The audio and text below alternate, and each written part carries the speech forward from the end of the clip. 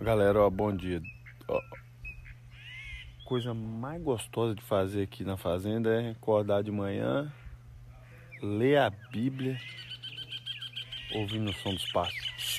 Ó, só escuta agora, desfruta.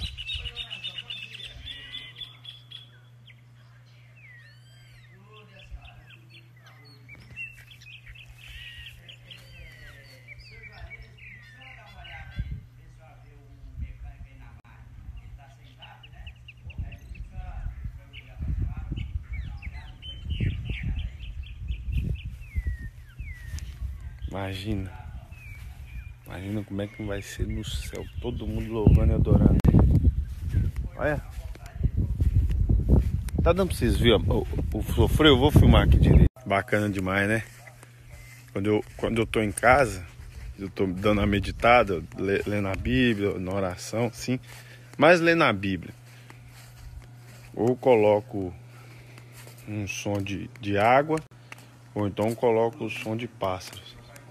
Aqui eu nem preciso colocar nada. Só só ir ali pro deckzinho, sentar ali.